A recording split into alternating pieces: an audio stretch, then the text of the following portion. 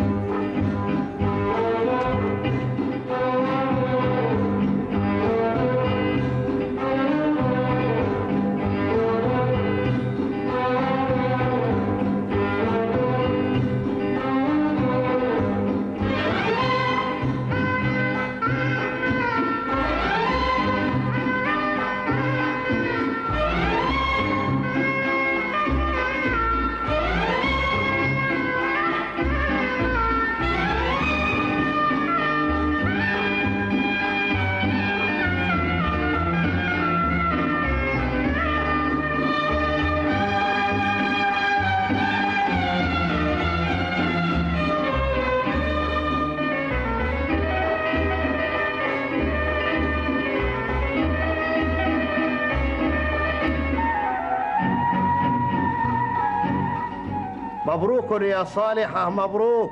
بارك الله فيك يا أبي. وأخيرا حصلت على الليسانس سأعمل مدرسة وسأفتح فصلا لمحو الأمية.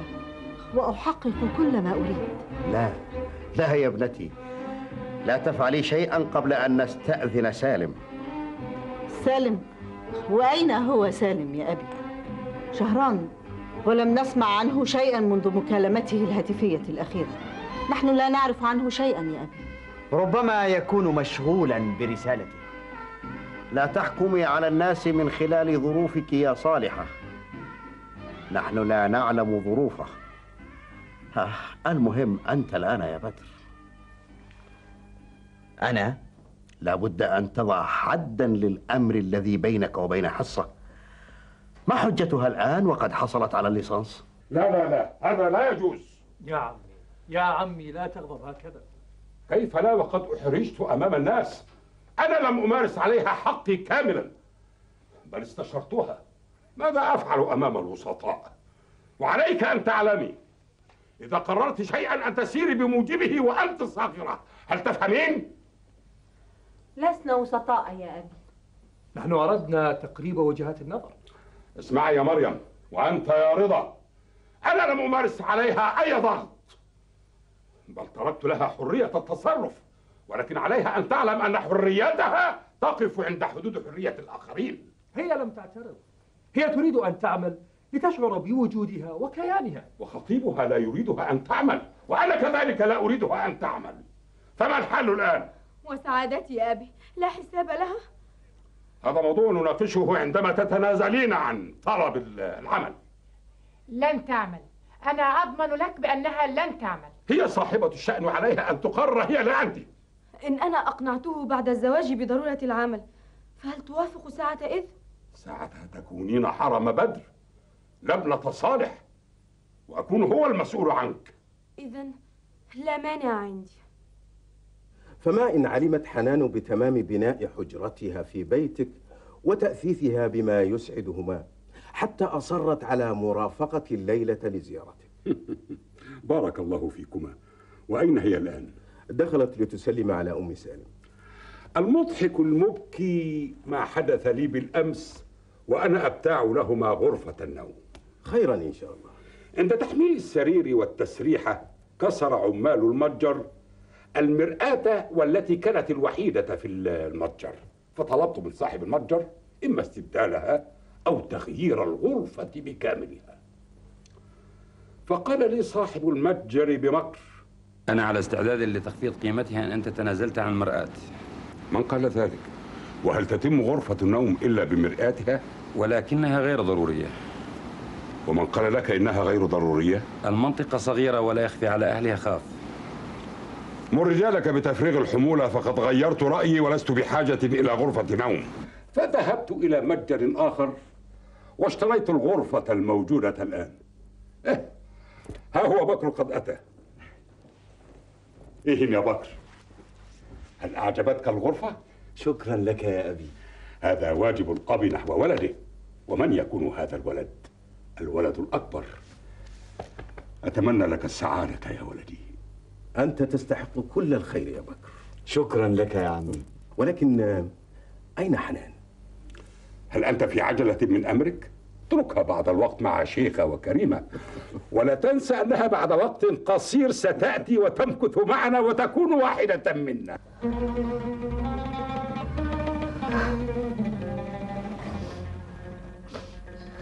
لما البكاء يا حنان؟ لا نحب أن نرى دموعك يا أخته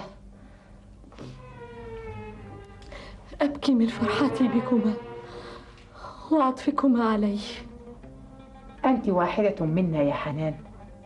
ويعلم الله أنني أحبك كواحدة من بناتي. ما أسعدنا بك جميعا يا أختاه. كفكفي دمعك يا أختاه؟ حنان يا حنان. ها هو عمي ينادي علي. ما زال الوقت مبكرا يا ابنتي. ابقي معنا بعض الوقت. غدا يا أماه تتزوج بكر. وتبقى معنا طوال الوقت. ولن نتركك لحظة واحدة. هيا يا ابنتي. تعال.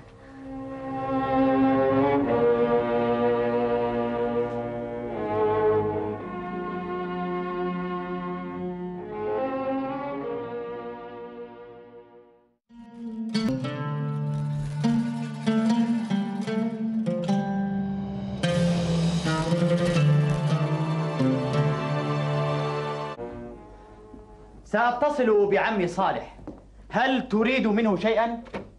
لا لا أريد شيئا من عمك صالح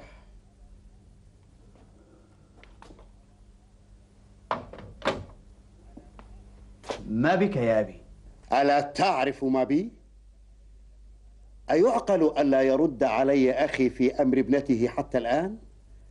هل أنا رخيص عنده إلى هذا الحد؟ لا تغضب منه يا أبي وتدافع عنه أيضا؟ أترضيك هذه المماطلة من أخي وابنته؟ ألا يعلم أنني أستطيع أن أزوجك خيرا منها؟ أبي سأتزوج حصة ها؟ حصة ترفضك وأنت تصر على الزواج منها؟ كيف؟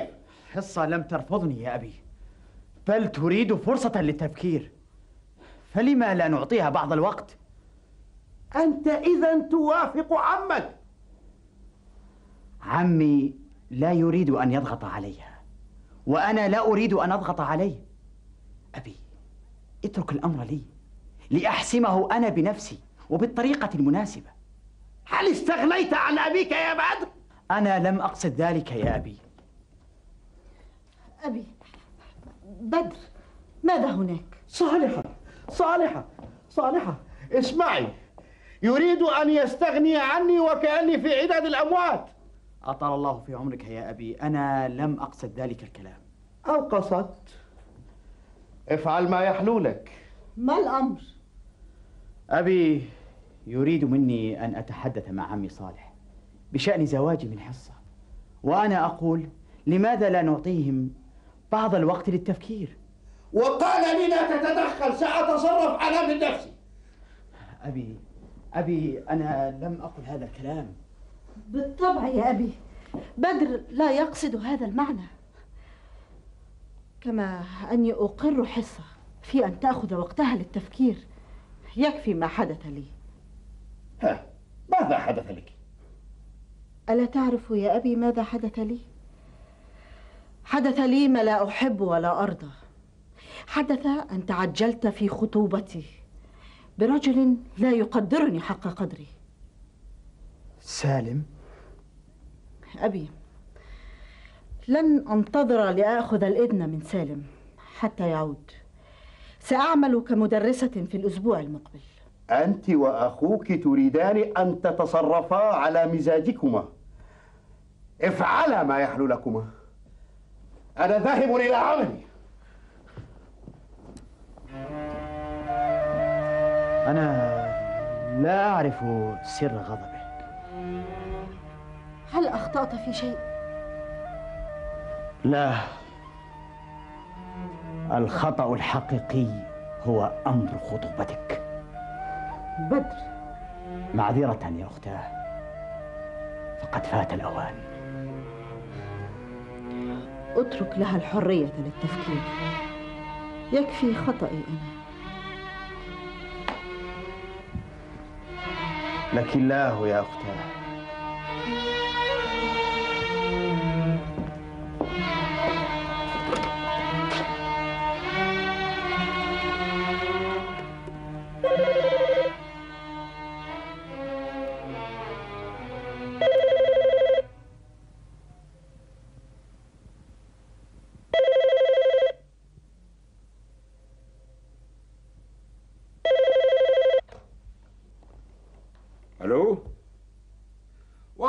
السلام ورحمة الله وبركاته. يا هلا يا هلا يا هلا.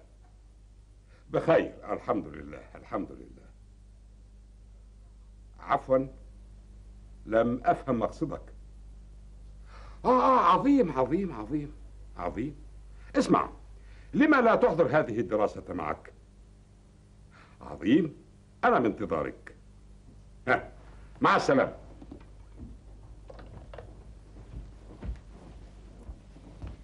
من المتحدث يا أبا بكر؟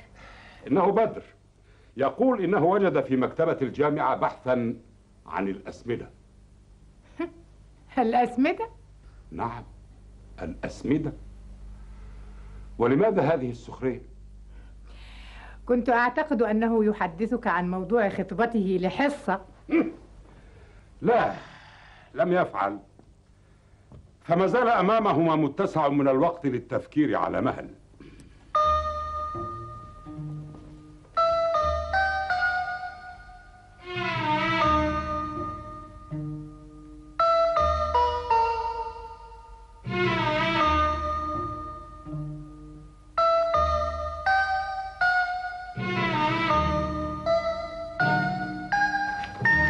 لا تترك موضوعا إلا وتبحث عن مراجعه وبحوثه. طبيعي أن أفعل هذا يا عماه من أجل إدخال المعلومات إلى رسالتي. عظيم عظيم عظيم. السلام عليكم ورحمة الله. وعليكم يا بدر. وعليكم السلام ورحمة الله وبركاته. يا هلا يا هلا. بدر جاء ببحث عظيم عن التسميد. هذا جيد جدا. ولكن كيف نتأكد أن ما جاء فيه صحيح ويتناسب ونوع زراعتنا؟ ماذا تقصد؟ ألا يجوز يا بدر أنه كتب وبحث لبلد غير بلدنا؟ لو سلمنا جدلا بأن ما تقوله صحيح فالتحاليل الواردة فيه تفيد مكونات هذه المواد الأساسية. والله يا بدر لم نعتد في حياتنا العملية على أي تحاليل أو بحوث إنما اعتمدنا على تجارب آبائنا وأجدادنا. لهذا السبب تجد الكثير من محاصيلنا الزراعية أقل جودة من سواها. كيف تقول هذا يا بدر؟ عفوا يا عماه أنا لا أقصد التقليل من أهمية تجاربكم ولكن لو دعمت بالعلم لكان أفضل خذ يا ولدي هذا تقرير جيد ولكنه يبحث في العموميات ولا يبحث في الخصوصيات كيف يا عماه؟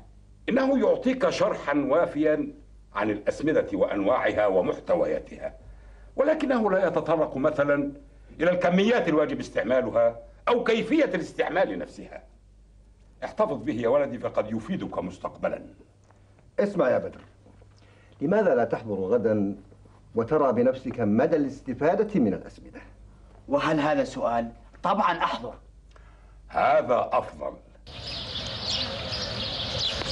السماد العضوي يضيف إلى الأرض مادة الأزوت وكذلك المواد العضوية ويساعد الأرض المتماسكة على التفكك. كما هو في نفس الحالة يساعد الأرض الرملية على التماسك وبذلك يمكن للأرض أن تحتفظ بالمياه التي تصل إليها. وإضافة إلى ذلك فإنه يحافظ على البوتاس والبوتاسيوم وغيرها ما شاء الله ما شاء الله الله أكبر.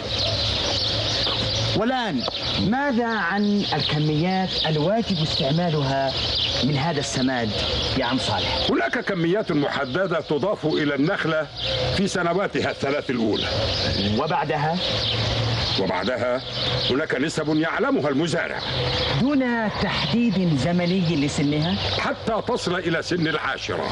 مم هذا حسن. عندها تتوقف عملية التسميد لا لا يا بدر لا تتوقف عملية التسميد بل يتم إعطاؤها هذه الكمية لكل نخلة سنويا متى؟ آه عند بدء موسم النمو وعند ارتفاع الحرارة. خالد خذه. أرهي هذا على الطبيعة وإلا فما معنى حضوره تفضل يا بدر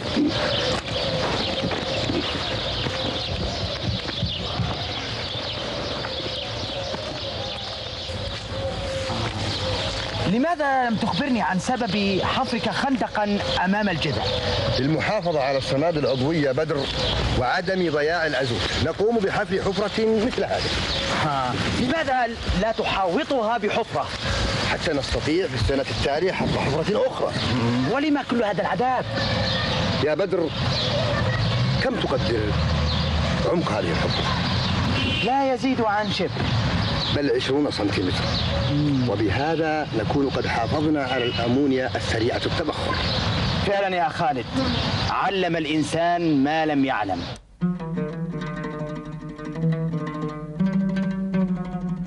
ماذا تقول؟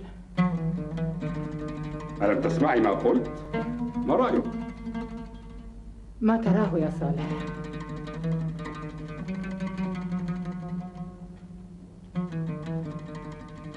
ما بك يا شيخ؟ أراك اليوم على غير عادتك لا شيء لا شيء تكلمي يا شيخ ما بك إنها قلقة بشأن سالم لم يتصل منذ مدة طويلة يبدو أن فرنسا قد بهرته فنسي أهله وأرضه وإخوته. حصة يا حصة! أمعقول أن ينسى الابن أباه وأمه مهما بعدت به المسافات؟ هذا ما حدث. لا تزيد الطين بلة يا حصة. أين عقولكم؟ لكل إنسان ظروفه. كل ما نتمناه أن يكون سالم بخير. هذا هو ما يؤلمني. أخشى أن يكون مريضا أو أصابه مكروه. وحد الله يا شيخة. أشهد أن لا إله إلا الله وأن محمدا رسول الله. إن صالح في أشد حالات الغضب والضيق لعدم اتصاله بها وبنا وتخشى أن يكون قد لا تزوج تكمليها ولا أحب مزاحا في هذا الموضوع. سالم سافر ليتعلم ويعود بالدكتوراه. وقد نصحته وحذرته ألا يفعل ما يغضبني.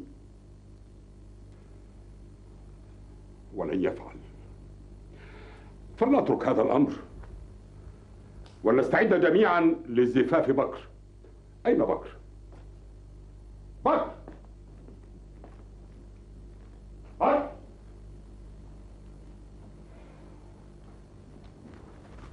الحمد لله أنه لم يسألني عن موضوع بدر. أين أنت يا سالم؟ يا رب.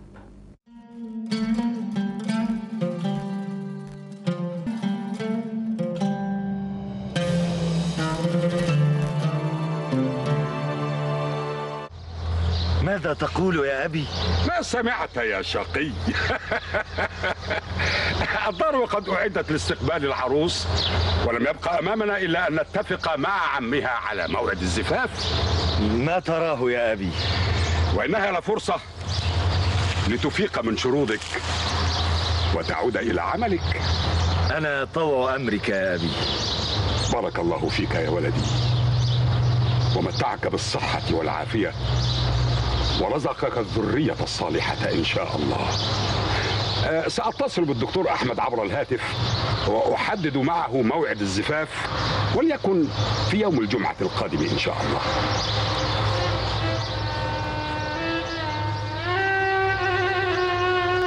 لحظة يا أبا بكر. فقد أتت حنان. تعالي يا حنان تعالي. من هنا؟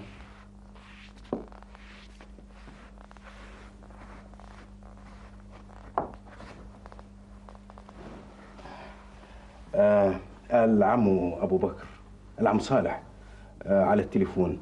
يقترح أن تكون ليلة الجمعة القادمة ليلة الزفاف. فماذا تقولين؟ تكلمي يا حنان لا تخجلي مني.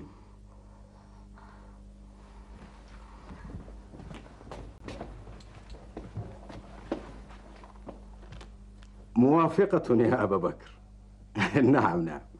على بركة الله. في أمان الله. مبروك يا حنان. أهلا وسهلا بكم مبروك يا أم سالم. بارك الله فيك يا أختاه. أهلا وسهلا. أين هي العروس؟ ستحضر بعد قليل. تفضل.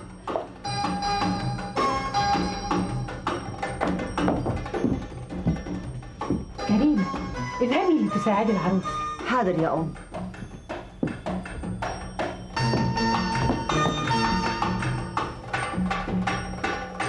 ستحضر العروس بعد قليل.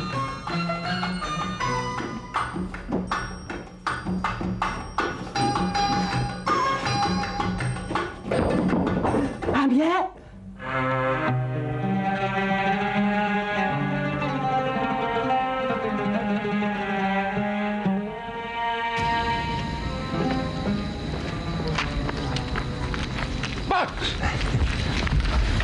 أين كنت يا ولدي؟ كنت أنتظر حتى ينصرف المدعوين. بارك الله فيك يا ولدي. أنا سعيد بك ولك. هيا اذهب خذ عروسك واذهب إلى غرفتكما. يا أبي لا أعرف كيف أشكر لك حسن صنيعك لا تقل هذا يا ولدي. أنت أقرب الناس إلى قلبي. هيا اذهب. صاحبتك السلامة وال- والسعادة. اذهب يا ولدي. هيا.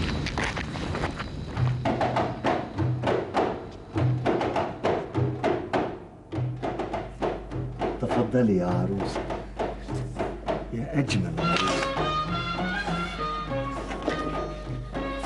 اتركني لأعرف الطريق وحدي. الليلة. أسعد ليلة في حياتي. ما أجمل وجهك المشرق في هذه الليلة؟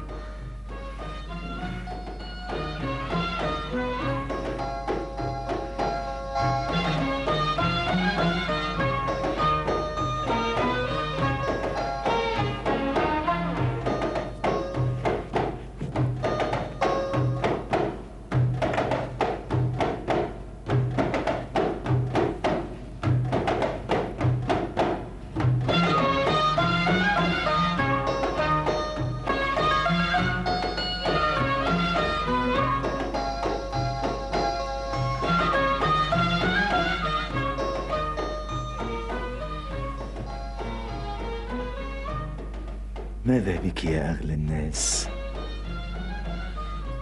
ما تمنيت أن أراك إلا الآن. ترينني. أنا أحمد الله. أنك لا تستطيعي ماذا تقول؟ لا شيء. أقول يجب أن نبتعد عن الحزن.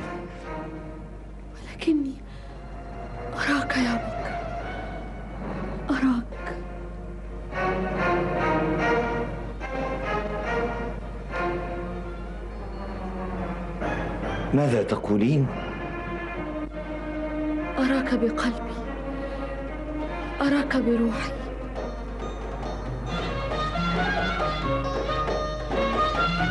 حنان زوجتي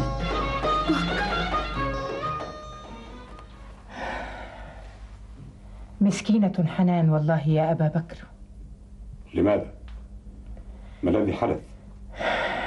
لم تسلم من ألسنة النساء. كيف؟ أوضحي. عندما أقبلت المسكينة كانت هناك ضحكات وهمسات وكلمات. تظاهرت بعدم الاكتراث. إنهن لم يدركن أن وراء قصة حبهما وزواجهما قلبين يخفقان. لا حول ولا قوة إلا بالله. ماذا جرى للناس يا أبا بكر؟ هل انعدمت الرحمة من القلوب؟ ألا يرغب الناس في رؤية شابين محرومين يتمتعان بالسعادة؟ لا حول ولا قوة إلا بالله أنا متعب فدعيني أنم ها أنا قد أصبحت وحدي لقد تزوجت حنان ويعلم الله أنني أتمنى لها السعادة من كل قلبي. فقد كانت تملأ البيت بهجة وسعادة. متى تتزوج أنت لنسعد بك؟ أنا لا أعرف. فالعروس في واد وأنا في واد آخر. وأصبح الموضوع بين الشك واليقين. ماذا تعني بالشك واليقين؟ أعني عدم إتمام الزواج أو إتمامه. كما أن عدم اتصال سالم بنا جعل الموضوع به بعض التوتر.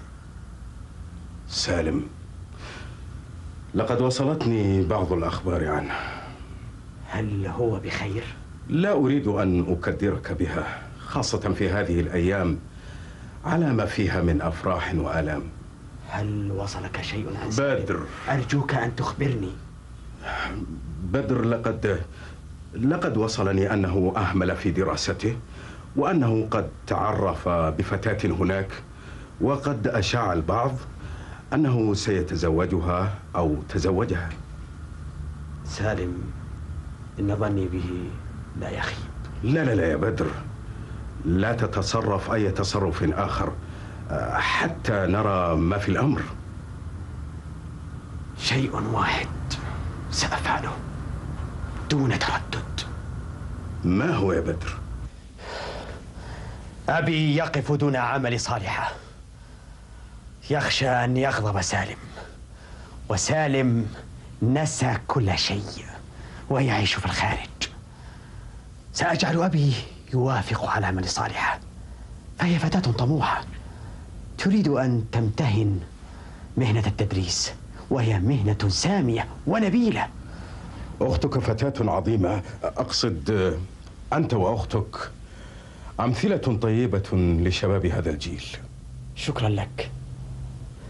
دكتور أحمد لما لا تفكر في الزواج؟ أنا؟ نعم وقد سبق وفكرت في هذا الموضوع وأصبح الطريق أمامك سهلا وميسورا بعد زواج حنان. حسنا يا بدر. لم يحن الوقت. هيا يا بدر. لقد تأخرنا. هيا بنا. هيا بنا. سالم. صبرا يا أبي صبرا. فأنا لا أعرف صحة ما وصلني من أخبار.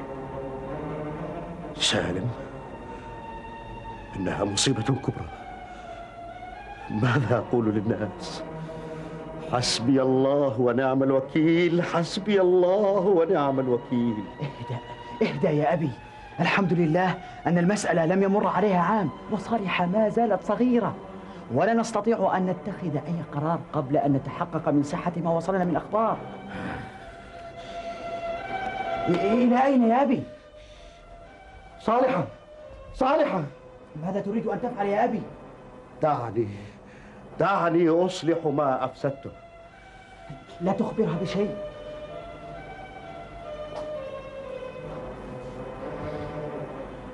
أتخشى أن يصل الأمر إلى صالح؟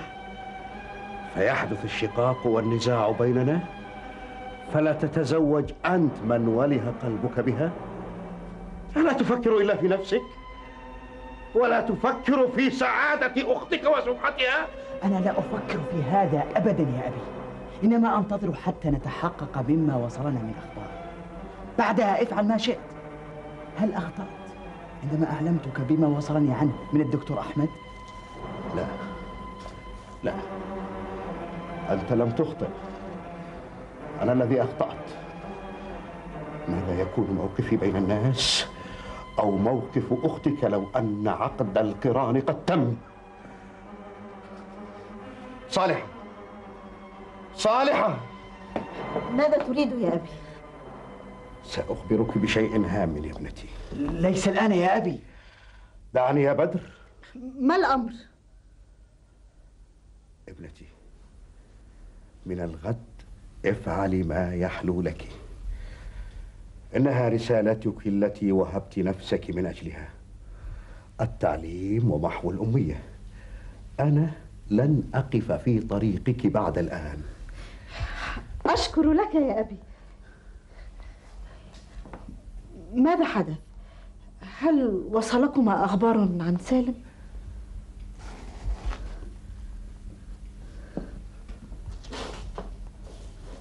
لا لا لا شيء يا ابنتي